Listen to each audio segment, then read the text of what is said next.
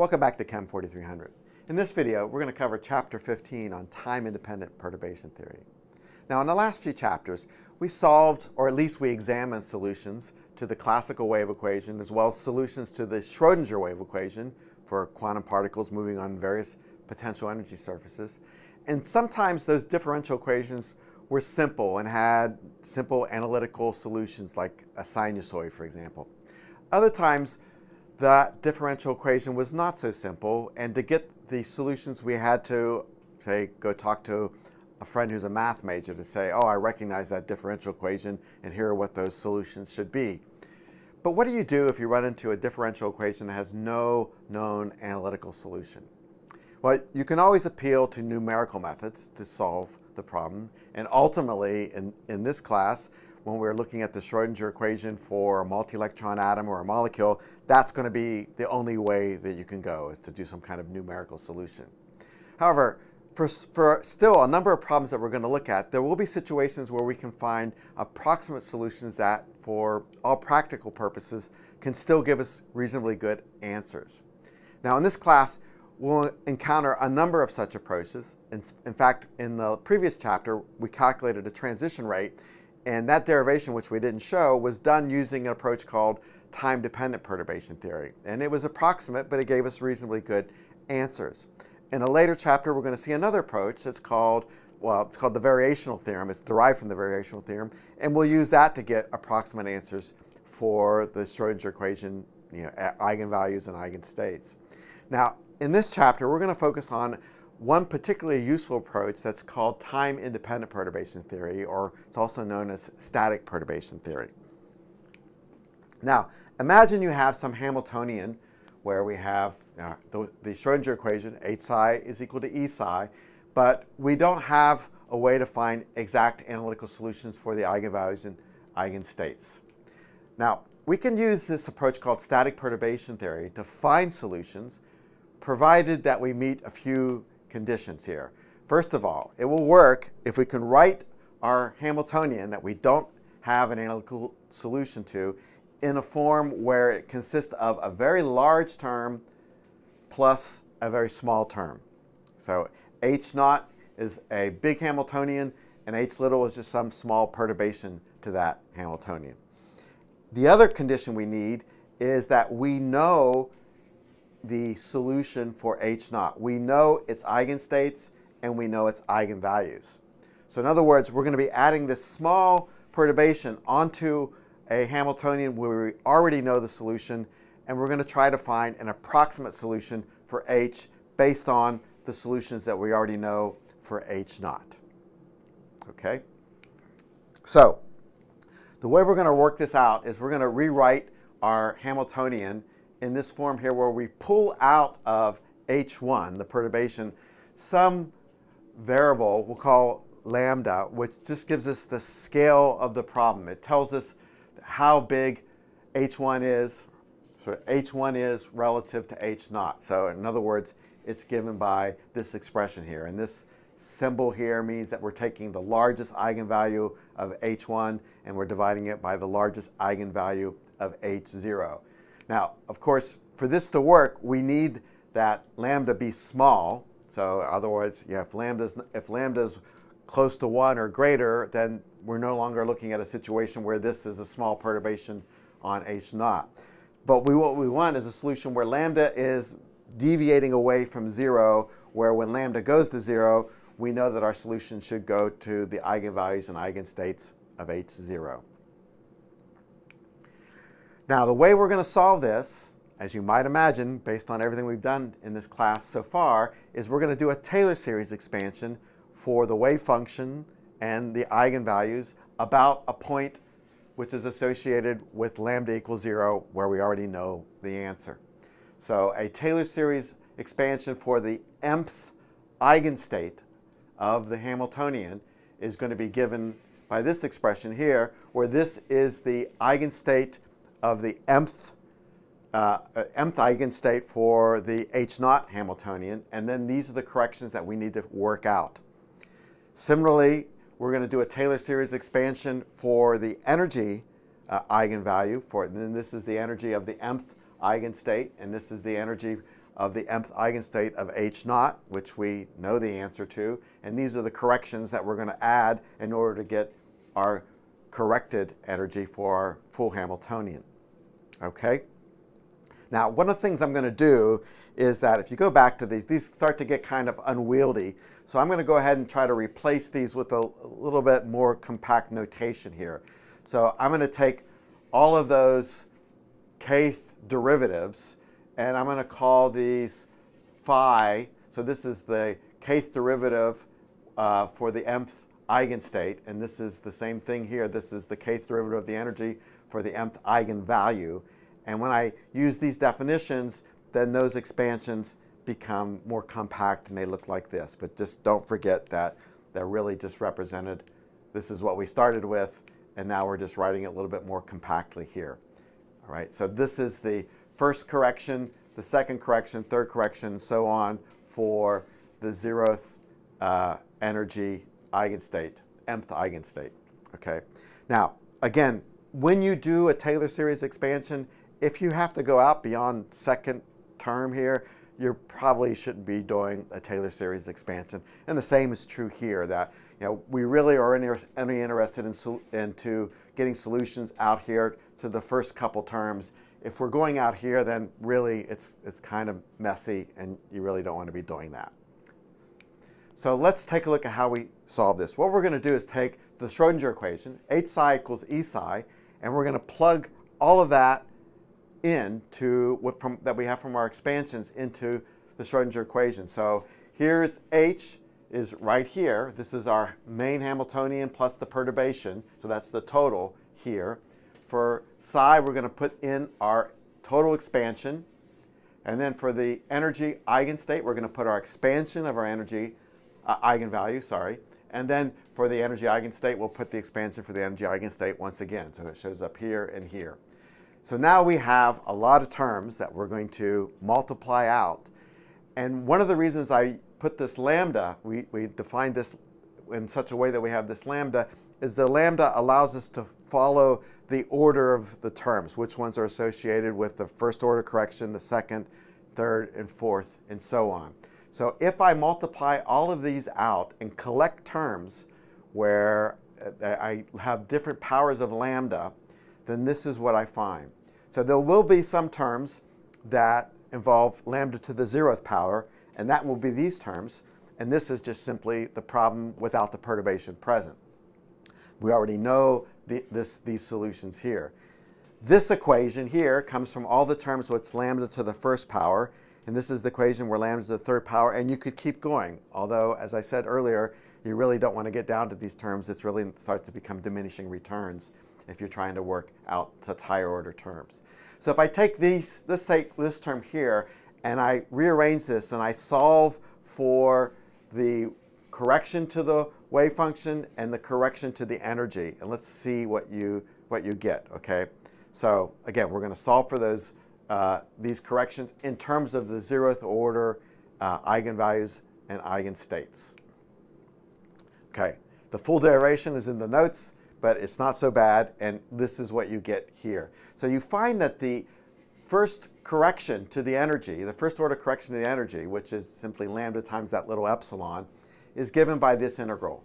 So this is just a sandwich of h1, the perturbation, inside the, with the eigenstates of the unperturbed Hamiltonian. So these are the mth eigenstates of the unperturbed Hamiltonian. Here's the perturbation, and that gives me the energy correction to uh, first order for having this perturbation present. So that's pretty simple. Now for the energy eigenstate, then you'll work out, you'll get this solution here. Now this looks a little scary, but uh, it's actually not so bad. Actually, if you look at this, these are the energy eigenstates of the zeroth order Hamiltonian, the one we know the solution for. So we know these, and we're trying to get the correction to the, to the mth eigenstate. And these terms here involves the same integral that we saw above, but it also is divided by these, uh, the difference between the mth uh, eigenstate of the zeroth order Hamiltonian and the jth eigenstate of the zeroth order Hamiltonian. And this term in square brackets is just simply a number. It's a coefficient that multiplies times psi j. And so you see that the correction that we get is just a linear combination of the zeroth order eigenstates. Add them together and you'll get a correction factor that you add to the zeroth order wave function in order to be closer to the right answer for the total Hamiltonian. So this looks a little scary, but if you stare at it a while, you realize that it's not so bad to work with. We'll look at some examples here in a bit. So in a bit is now. So here we see, for example, the uh, harmonic oscillator potential for a, uh, a, harmonic oscillator where we included the anharmonicity terms. So remember when we, when we looked at the harmonic oscillator, we made an approximate Taylor series approximation and we ignored all the higher order terms and, and we had only this term for the potential energy. Now, if we add those higher order terms, say the, the, the third and the fourth term in that Taylor series expansion for the potential energy, then we would see that there's going to be some changes in the energy eigenstates and the eigenvalues for the harmonic oscillator if these perturbation terms were added into it. So we know the solution to just this if we add this, what, how are those energy eigenvalues and eigenstates for the harmonic oscillator going to change? So we're going to write down then that we identify that the zeroth order Hamiltonian, in this case, is this term for the potential energy plus the kinetic energy, which we had from before. And now this H1 term will be these two terms, these anharmonicity terms that we're going to add in. So we know the eigenvalues and the eigenstates for that Hamiltonian. Remember, the eigenvalues are just this term here, and those Hermite polynomials here were what we needed to make the eigenfunctions or the eigenstates of our H naught for the harmonic oscillator. So to calculate H, uh, the energy correction, we simply take this guy and we make a sandwich with these wave functions here. So I'm going to take h1, I make my sandwich integral there, and then I plug in the form, which then expanded out gives me these two integrals. Okay? Well, so far I've just left it in terms of the wave function. I haven't put in the Hermite polynomials yet, but you can see that it just becomes two terms there. Now, there were some symmetry rules we learned in that chapter on harmonic oscillator to help us figure out whether some integrals were zero or not. So let's try to recall those because when we look at this, we can see that, I'll make a note here, that this function is an even function, right? This is the ground state of the harmonic oscillator. x to the third is an odd function. So that means that an even function, an even function, an odd function gives us an integrand, which is an odd function. So this integral is zero. Over here, again, we have an even function, an even function, x to the fourth is an even function. So the product of all those even functions is an even function. So that integral will not be zero. So this is what we're left with solving in this problem. So we can just, from, from simple symmetry arguments, eliminate that one so we don't have to try to deal with it. So now if I go back and I use the form for the zeroth order uh, wave function and I plug it in here and here, I get this expression for this integral and then just working it out with a little bit of math, you should get this result and then you get the result here for the final energy correction. So here's the zeroth order, I'm sorry, this is the correction to the zeroth order energy. So this is the first order energy correction, which you see is going to be, ignores this term, it's just going to be this BF uh, coefficient divided by 32, and then alpha to the fourth, which was just the function we, the variable that we defined when we solved the harmonic oscillator problem uh, a few chapters back. All right, so that's one simple example where we got the, the correction to the energy, the first order correction to the energy. Let's take a look at if we can get the correction to the wave function. And so we're going to find the correction to the n equals 0 wave function. So again, remember this was the expression that we found for that correction. It's just a sandwich up here divided by the energy difference, forming a coefficient that we sum over all the zeroth order energy eigenstates. So plugging in our perturbation term here, there we get this expression. Okay, so let's just keep going here. Take this and we expand it out into two terms. And once again, we see that we have an even function, an odd function, but now we have psi j. Well, depending upon whether j is even or odd, we may have this integral go to 0 or not, right? So if j is an even function, well, that's even, even, and odd, well, that's going to go to 0. But if j is an odd function, then we're going to have odd times odd times even. That's going to give us an even integrand. That term is going to stay, and we're going to have to evaluate it, right? Likewise, over here, we have this sum, and we have uh, with involving psi j, and if j is even, and z, and this is even, this one's already even, and that's even, then this guy will be non-zero. But if this is odd, this is even, that's even, then this will go away and be zero. So when this is odd, this term will go away.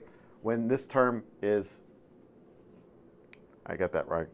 Uh, yeah, this one will go away when this one's j is equal to 0. Yeah, sorry. When j is even, this term will go away. And when j is odd, this term will go away. And that, then you'll have to solve those integrals, which I'll, I'll leave for you to do. Um, so let's move on to the second order correction. And that simply looks like this. Uh, and again, you can go to the notes to get the derivation of this. But this term right here, you can see involves the first order correction. So we already looked at that term in a previous slide when we were doing this uh, with the harmonic oscillator problem. But if we take this term, we plug it into there, then you get an expansion like this for the second order energy correction. And now it involves only the zeroth order energy eigenstates and eigenvalues here. So here's our second order correction for the energy.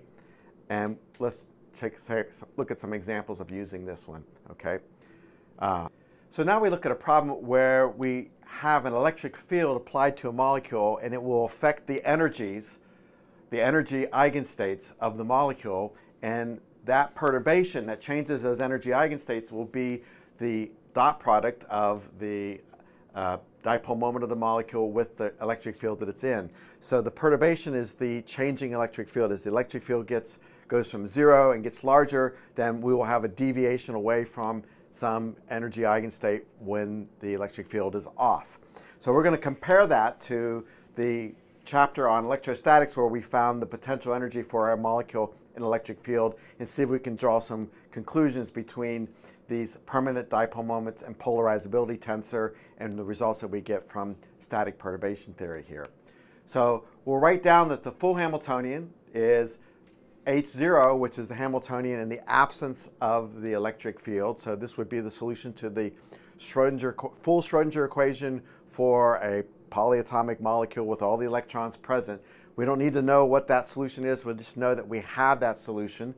And we're going to add a perturbation. We want to know how to correct the energies that we already know based on the presence of that perturbation. So here's what we have in terms of our full form for the potential energy the potential that, that perturbs the Hamiltonian. And if we take that perturbing term and we place it into this sandwich to get the first order energy correction, then you see with the explicit form for that, that it's just simply the negative of this integral, which is the expectation value for the electric dipole moment with the dot product with the electric field. So this is a, a vector operator. So this integral here has three components, the x the y and the z component, which form a vector quantity. And so this will give us the expectation value for the electric dipole moment for the zeroth order energy eigenstate.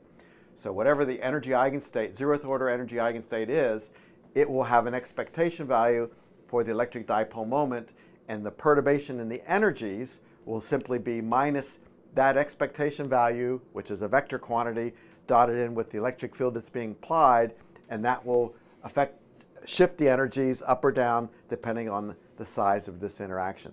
So this looks very similar. This is the same expression that we had earlier for that first, when we thought about it in the electrostatics chapter without quantum mechanics, we saw that the energy was shifted by this amount. So Only thing we're changing here is that we have the expectation value in this perturbation treatment for that energy shift. Now if we go to the second order term, then you see that we take the same perturbation here and we plug it into our expression for the uh, second order energy correction. So plugging it in, then what I'm going to do is I'm going to, the E field really doesn't depend, it's not an operator, it doesn't depend on anything in here, and I can pull it out to both sides. Now the reason I'm pulling out to both sides will be apparent here in a second. And then I'm going to have in here just the same integral, the integral for the electric dipole moment vector using the zeroth order energy eigenstate. So now it's going to be a sum over psi j, psi m for these sandwiches. And this term inside here will be a tensor quantity. So I will evaluate, because this is a vector, I'm going to end up, when I evaluate this, it's a vector squared, I'm going to get a 3 by 3 matrix. So if you look at this more carefully, you think, well, that looks a lot like what we saw in that electrostatics chapter, where the polarizability tensor was the, gave us the shift in the energy as the molecule polarizes in the electric field, we would get a shift in the energy, which is minus one half E dot polarizability tensor dot E. So this three by three matrix gave us the shift, and we associate then that three by three matrix with this second order uh, correction from perturbation theory involving this integral with a vector operator. So if I wrote that down here then for the mth eigenstate, so if I'm looking for the energy, the change in the energy of the mth eigenstate, zeroth order eigenstate, then it will be given by this term here where this is a polarizability tensor uh, that I use in this expression to get the energy correction. And of course that's a tensor quantity, so as you said, this is a vector here. As I said, this is a vector here. So if I do say one of those elements, I say I want to get the a the alpha xy term, then that's going to be this integral, the, the mu x integral and the mu y integral. And then you could do, imagine the same integral for xz, yz, xx, and so on. So you end up doing nine of these, which you can see that, that since it's a symmetric matrix, that you really only need to do six of them. And these will give you the full polarizability tensor if you know the zeroth order energy eigenstates and eigenvalues. All right, great. So that's it for this chapter. Uh, and in the next chapter, then we will start to take advantage of some of these type of, of uh, perturbation approaches for solving problems.